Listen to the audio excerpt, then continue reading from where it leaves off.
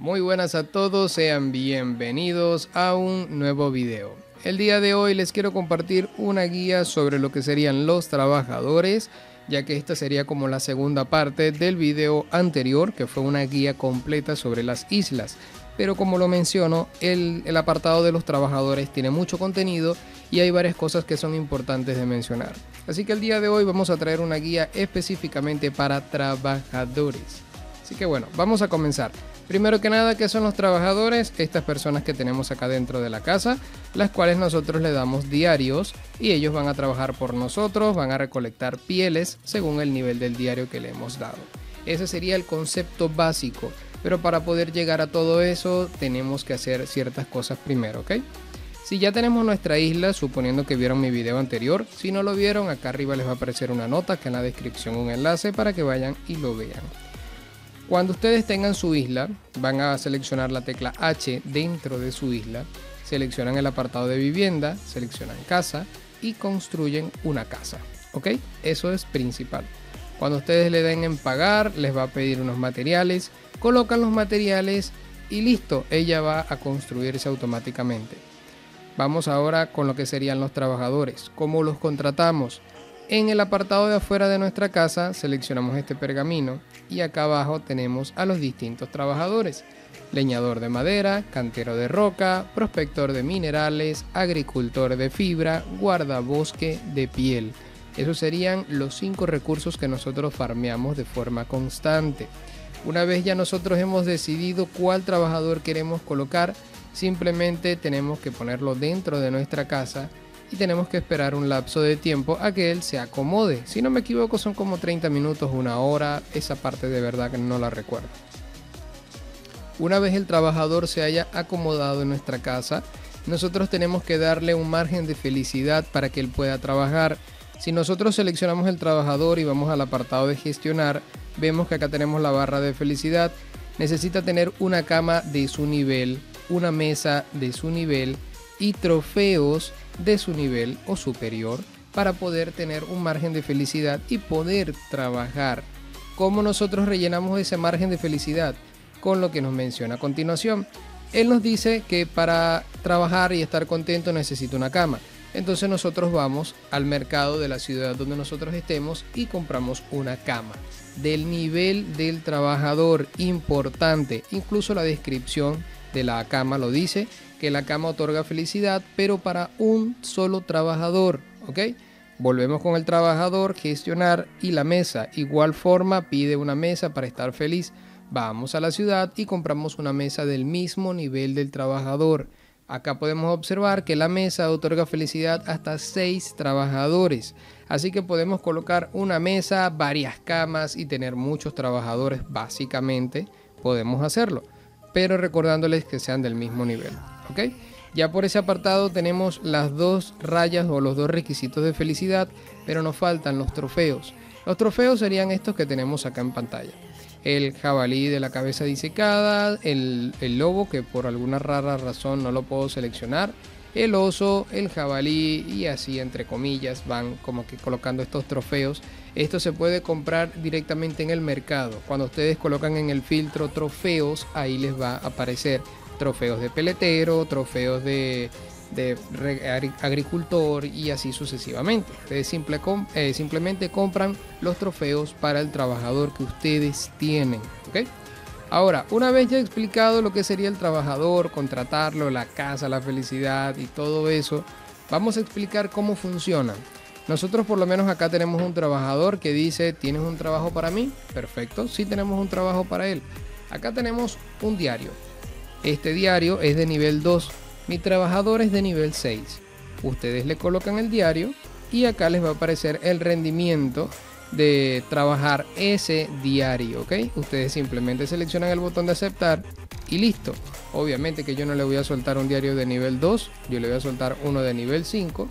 Tiene un rendimiento del 150%. Acá nos dice las probabilidades de objetos o recursos que nos va a devolver y tiempo de espera 22 horas. Así que simplemente seleccionamos el botón de aceptar. Una vez pasadas las 22 horas, les va a aparecer de la siguiente manera. Tengo estos recursos para ti. Básicamente recolectó pieles de nivel 5 plano, pieles de nivel 5.1 y un diario vacío, obviamente. Nosotros le vamos a entregar un diario lleno, él nos va a entregar a nosotros un diario vacío para que lo volvamos a llenar, traérselo a él y repetir el ciclo del trabajador. A mayor nivel de nuestro trabajador, obviamente tenemos que ir mejorando la casa, mejorando la cama, la mesa, entre otras cosas más, y así él va a ir aumentando su rendimiento y obviamente va a poder recolectar cosas de mejor nivel. De momento les voy a dar otro diario de nivel 5 y le damos a aceptar.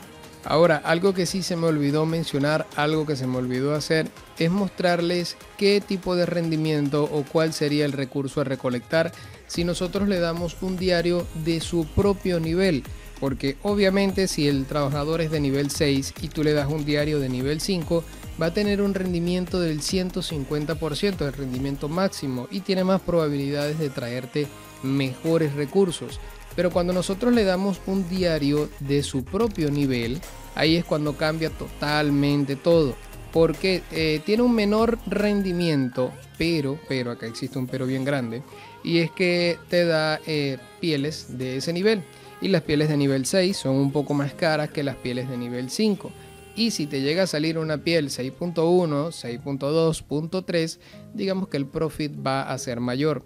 Aparte, para poder subir de nivel nuestro trabajador, nosotros obviamente tenemos que irle dando esos diarios y cada vez que regrese, él va a ir eh, obteniendo experiencia. Pero si le damos diarios de un nivel menor, la experiencia que obtiene es menor. Así que es como quien dice, tienes que decidir qué quieres. Subir de nivel tu trabajador de forma óptima y rápida o simplemente subirlo de una forma lenta para obtener un poco más de profit. De momento tengo este trabajador acá que como pueden observar trajo pieles punto .1 y punto .2. Simplemente tomamos todo y colocamos un diario de nivel 6 que es de su nivel. Acá me da un rendimiento del 130% porque acá tengo unos trofeos adicionales que ya les voy a explicar para qué sirven y cómo comprarlos que les da un poco más de felicidad. Así que simplemente soltamos el diario, le damos aceptar y lo enviamos a trabajar tomar todo y colocamos el diario, le damos aceptar. Ok, vamos a explicar ahora qué son estos trofeos que tengo acá en medio. Lo iba a explicar en la casa anterior, pero estaban un poco atravesados en pantalla. Como puedes observar, todos tienen un nombre distinto. Este trofeo otorgará 5 puntos de felicidad a un máximo de 3 trabajadores. Por cada trofeo, 3 trabajadores. Así que por esa parte estamos bien. Pero estos libros o estos trofeos también cuestan. Son trofeos del generalista, si no me equivoco, que se los podemos comprar a los mismos trabajadores. Verán aquí en el apartado de diario, acá los podemos comprar. Diario del guardabosque, diario de trofeos de generalista y diario de trofeos de guardabosque. El diario de trofeos de guardabosque es para la probabilidad de obtener estos trofeos que tienen acá arriba, los que están acá en la pared, ¿okay? lo que expliqué al inicio. Los diarios de eh, generalista serían estos trofeos que tenemos acá, acá en el piso. Y bueno, los otros son los de pie, lo que ya acabo de explicar. Vamos a dirigirnos al mercado para explicarles cómo aparecen esos trofeos que les acabo de mencionar. Ok, ya estamos en el mercado, está un poco full de personas, así que vamos a tratar de explicar esto rápido. En el apartado del mercado ustedes simplemente abren el filtro se van a la última pestaña que dice trofeos, seleccionan trofeo general y acá ustedes van a encontrar esos trofeos a comprar. El mínimo nivel, si no me equivoco, es 2. Sí, perfecto. El nivel 2 es el mínimo y otorga la misma cantidad de felicidad. Entonces, ¿cuál es mi recomendación? Muy sencilla.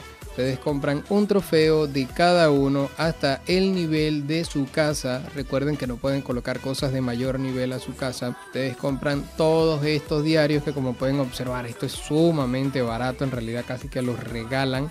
Así que cómprenlos todos y listo. Los tienen ahí guardados en su cofre, cerca de su casa y una vez ya ustedes tengan el nivel de su hogar pueden colocar esos trofeos dentro y así van a otorgarle un mayor nivel de felicidad a sus trabajadores. Y bueno hermanos, eso es básicamente todo lo que les voy a compartir por el día de hoy. Traté de hacer la guía lo más sencilla posible, pero si se me hizo un poco larga pido disculpas. Trato de hacer un buen contenido para ustedes y que sea claro de su agrado. Recuerden suscribirse al canal si aún no lo han hecho, activar la campana, dejar un grandioso, grandioso like para que esta comunidad siga creciendo. Si tienen una sugerencia para el canal, una petición, me la hacen saber en la caja de comentarios y nos vemos en un próximo video. Chao, chao.